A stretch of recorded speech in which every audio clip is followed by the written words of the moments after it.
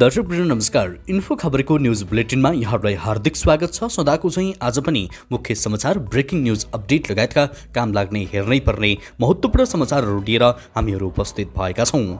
आउनुहोस् दर्शकवृन्द आजका मुख्य मुख्य समाचारहरू सुरु गरौँ। इलामलाई चुनावले छपक्कै ढाकेको छ। अब दस दिनपछि प्रतिनिधि सभा सदस्यका लागि इलाम दुईमा प्रतिस्पर्धामा उत्रिएका बिस उम्मेद्वार मध्ये एकजनाले संसद भवनको ढोका खोल्दैछन्। यति बेला उम्मेद्वारहरू भोट माग्दै जनताका घर घर पुगिरहेका छन् चोकचोकमा चुनावी सभा गरिरहेका छन् तर उनीहरूलाई चुनौती दिने गरी यहाँ छुट्टै अभियान थालिएको छ। दुर्गा प्रसाई नेतृत्वको राष्ट्र राष्ट्रियता धर्म संस्कृति र नागरिक बचाउ महाअभियानले बिहिबार नो भोट अभियान सुरु गरेको छ। प्रसाईको समूहले बिहिबारदेखि सदरमुकामको चोक बजारमा सभा आयोजना गरेको थियो। सभामा झन्डै दुई हजारजना सहभागी थिए। यो त्यही चौक हो जहाँबाट राष्ट्रिय स्वतन्त्र पार्टी रासोपाका उम्मेद्वार मिलन लिम्बुले उम्मेदवारी घोषणा गरेका थिए। झन्डै चार हजार मतदाताले भोट नहाल्ने वातावरण निर्माण भइसकेको प्रसाई निकट स्रोतको दावी रहेको छ। सोही जानकारी गराउँदै प्रसाईले इलाममा मतदातालाई भोट नहाल्न आग्रह गरिरहेका छन्। दलहरूले यतिका वर्षसम्म केही गर्न नसकेको भन्दै उनले अब भोट हाल्न नहुने तर्क गरेका छन्। राज संस्था पुनर्स्थापनाको माग राखिरहेका प्रसाईले अभियान अन्तर्गत यहाँका उम्मेद्वारलाई भोट नहाल्न मतदातालाई आग्रह गरिरहेका छन्। त्यस्तै बरको प्रसङ्ग सहकारी ठगीको प्रहार सूचीमा रहेका गितेन्द्र बाबु राई जीवी आबद्ध अर्को सहकारीमा पनि अरबौँ रकम अपचलन भएको पाइएको छ। काठमाडौँको कालीमाटीमा केन्द्रीय कार्यालय रहेको स्वर्णलक्ष्मी बहुद्देश्य सहकारी संस्था लिमिटेडद्वारा बचतकर्ताहरूको अरबौँ रुपियाँ अपचलन भएको पाइएको हो। उक्त सहकारीको अध्यक्ष राई नै हुन्। गोर्खा मिडिया नेटवर्क प्रणाली ग्यालेक्सी फोरके टेलिभिजनका सञ्चालक समेत रहेका राईले स्वर्णलक्ष्मी सहकारीबाट असी करोड रुपियाँ बराबरको बचत रकम लगेको बताइएको छ। यसअघि गोर्खाको सूर्यदर्शन सहकारीबाट दस करोड रुपियाँ सहारा चितौन सहकारीबाट एघार करोड एकहत्तर लाख रुपियाँ त्यस्तै बोटौलको सुप्रिम सहकारीबाट दस करोड चौतर लाख रुपियाँ गरी बत्तीस करोड पैँतालिस लाख रुपियाँ राईले विभिन्न खाता तथा ऋणी खडा गरेर अपचलन गरेको देखिएको थियो। टेलिभिजनको नाममा विभिन्न ब्याङ्क खातामा गरी बाइस करोड रुपियाँ ट्रान्सफर भएको प्रष्टै देखिएको छ। अरू विभिन्न माध्यम व्यक्ति तथा शीर्षकहरू खडा गरी अध्यक्ष राईले पचास करोड रुपियाँ माथिको रकम बचत बचत रकम टेलिभिजनमा मात्रै लगेको देखिन्छ। त्यस्तै विराटनगरको रानीमा बिहिबार पनि झडप भएको छ। बुधबार रामनवमीको अवसरमा एउटा समूहले निकालेको र्यालीलाई अर्को समूहले अवरोध गरेपछि झडप सुरु भएको बताइएको छ।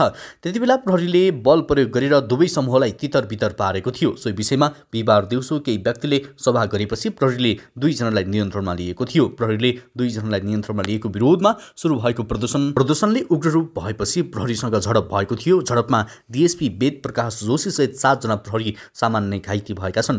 प्रहरीको भनाइरहेको छ जिल्ला प्रशासन कार्यालय मोरङले अनुमति नलिई सभा जुलुस तथा भेला नगर्न बिहिबार सूचना जारी गरेको थियो। बिहिबार सूचना जारी गरेको थियो तर साढे तिन बजे विराटनगर महानगरपालिका राम जानकी मन्दिर अगाडि आठ नौजनाको समूह भेला भएको थियो।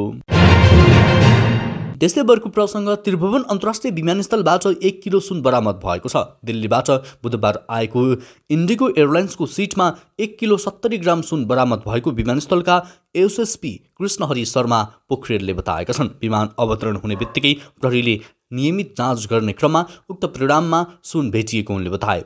प्रहरीको मुभमेन्ट देखिएपछि लिएर आएका व्यक्ति सुन छाडेर भागेको हुन सक्ने आशंका गरिएको छ। फ्लाइट नम्बर छ ई एघार एकाउन्न नम्बरको इन्डिगो एयरलाइन्सको सिट नम्बर सत्ताइस चार्लीको पछाडि अठाइस चार्लीको अगाडिको सिट पाकेटको तल बेबारिसी अवस्थामा रहेका झोलाबाट उक्त सुन बरामद भएको हो।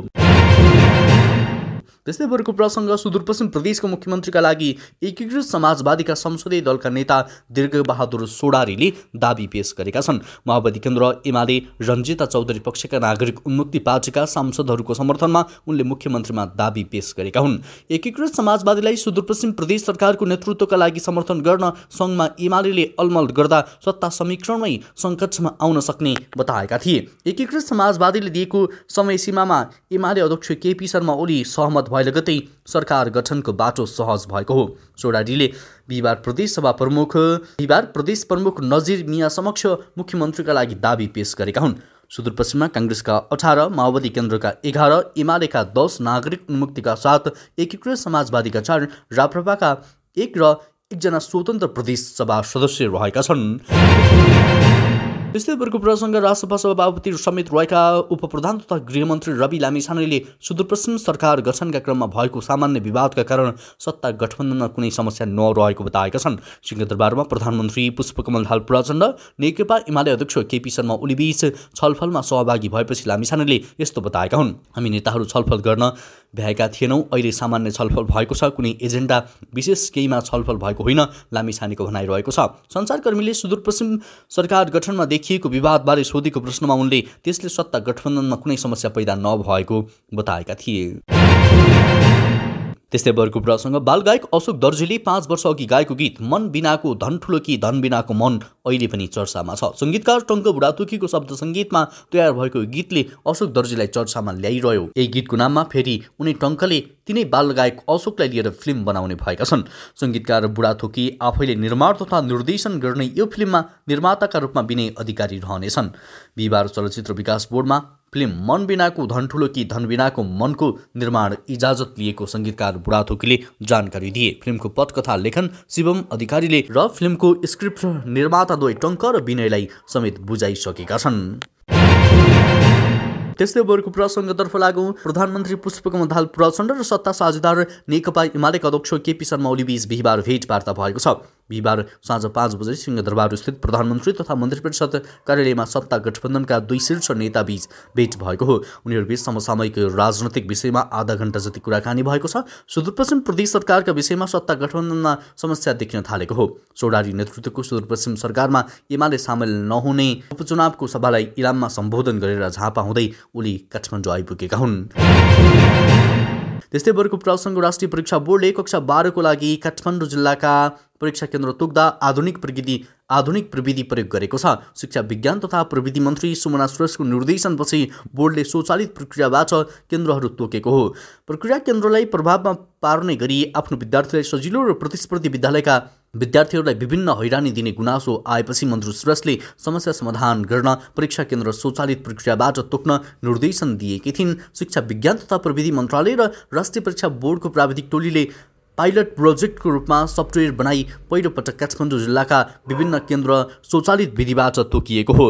हरेक विद्यालयका परीक्षार्थीको सङ्ख्या र परीक्षा केन्द्रको सिट सङ्ख्याको आधारमा विद्यालय र केन्द्रको भौगोलिकताको आधारमा दूरी निकालिएको थियो। विद्यालयबाट नजिक पर्ने केन्द्रलाई प्राथमिकता दिइएको थियो। एकै विद्यालयको एकै विद्यालयको परीक्षार्थी सङ्ख्या हेरी सकभर औसतमा एक सय पचासभन्दा बढी परीक्षार्थी एकै केन्द्रमा नपर्ने गरी बाँडिएको बोर्डले जनाएको छ। त्यस्तै अर्को प्रसङ्ग श्रम रोजगार तथा सामाजिक सुरक्षा मन्त्रालयले निवृत्तमान श्रम मन्त्री शरद सिंह भण्डारी र तत्कालीन श्रम सचिव केवल प्रसाद भण्डारीले गरेका तिनवटा विवादास्पद निर्णयहरू खारेज गरेको छ। वर्तमान श्रम मन्त्री डोल प्रसाद ओराल डिपीले विवादास्पद बनेका मागपत्रको प्रमाणीकरण अनिवार्य अङ्ग्रेजी भाषा र पूर्व पूर्वाप्रस्थान अभिमुखीकरणको शुल्क सम्बन्धी निर्णयहरू खारेज गर्ने निर्णय गरेका हुन्। मन्त्रालयका प्रवक्ता गोविन्द प्रसाद रिजालका अनुसार तर्मिकले पनि विदेश जाँदा न्यूनतम अङ्ग्रेजी भाषा जानेकै हुनुपर्ने गरी छ मङ्सिरमा भएको निर्णय खारेज भएको छ। अब मन्त्रालयको निर्णयअनुसार खाडी मुलुकमा जाने सबै श्रमिकले अङ्ग्रेजी भाषा जानेको हुनुपर्ने व्यवस्था कार्यान्वयन नहुने भएको छ। त्यसै गरी मन्त्रालयले सात असोजमा भएको अभिमुखीकरण तालिम सञ्चालन मन्त्रालयका प्रवक्ता गोविन्द प्रसाद रिजालका अनुसार श्रमिकले पनि विदेश जाँदा न्यूनतम अङ्ग्रेजी भाषा जानेकै हुनुपर्ने गरी छ मङ्सिरमा भएको निर्णय खारेज भएको छ। अब मन्त्रालयको निर्णयअनुसार खाडी मुलुकमा जाने सबै श्रमिकले अङ्ग्रेजी भाषा जानेको हुनुपर्ने व्यवस्था कार्यान्वयन नहुने भएको छ। त्यसै गरी मन्त्रालयले सात असोजमा भएको अभिमुखीकरण तालिम सञ्चालन कार्यविधि दुई हजार छिहत्तरको दोस्रो संशोधन संशोधन सम्बन्धी निर्णय पनि खारेज गरेको छ। त्यस्तै स्वर्गीय रामहरि श्रेष्ठकी श्रीमती रमिलाले उपप्रधान एवं गृहमन्त्री रवि रामेश्वरनलाई भेटेर सुरक्षाको प्रत्याभूति माग गरेकी छिन्। रामहरि श्रेष्ठको हत्या आरोपमा कालीबहादुर खाम पक्राउ परेपछि आफूमाथि थ्रेट आएको भन्दै उनले सुरक्षा माग गरेकी हुन्।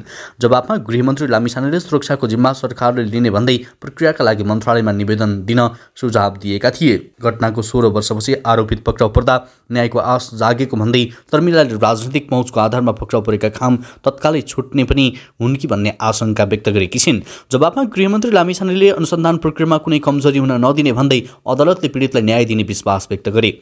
मन्त्री लामिछानेले सरकारको नेतृत्वमा कुन दल छ भन्ने कुराले अनुसन्धान प्रभावित नहुने पनि स्पष्ट पारे। माओवादी केन्द्र नेतृत्वको सरकारका बेलामा पनि सोही दलका नेता खाम विरुद्ध कारवाही हुनेमा श्रेष्ठले शङ्का व्यक्त गरेकी थिइन्। त्यस्तै संयुक्त अरब इरिमेन्ट्समा आएको बाढीमा पनि एक नेपालीको मृत्यु भएको छ। आबुधाबी स्थित नेपाली दूतावासका अनुसार बाढीमा पनि भरतपुरका मोहन पुनको मृत्यु भएको हो।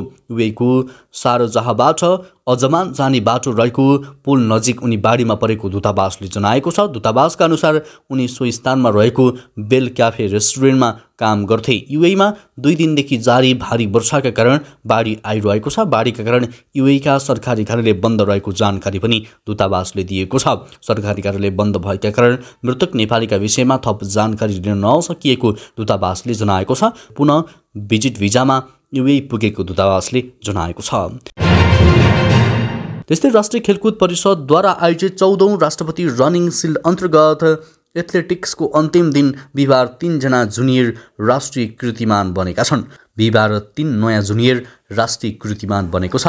त्रिपुरेश्वर स्थित दशरथ रङ्गशालामा सुदूरपश्चिम प्रदेशका आशिष महरले छात्र ट्रिपल जम्पमा चौध दशमलव उन्नाइस मिटर जम्प गर्दै छत्तिस वर्ष अघिको जुनियर राष्ट्रिय कृतिमान भङ्ग गरी स्वर्ण जिते। आशिषले दुई हजार चौवालिस सालमा धनवीर चौधरीले बनाएको चौध दशमलव शून्य छ मिटरको कृतिमान तोडेका हुन्। प्रतियोगिता स्थलमै रहेका धनवीरले आशिषलाई प्रोत्साहन स्वरूप नगद पनि प्रदान गरेका थिए। बागमती प्रदेशका विशाल गुरुङ दोस्रो तथा लुम्बिनी प्रदेशका विजय थारू तेस्रो भए। सो प्रतिस्पर्धाको छात्रमा लुम्बिनीकी अनिसा थारू पहिलो भइन् अनिसाले दस दशमलव दस दशमलव सन्ताउन्न मिटर जम्प गरिन्।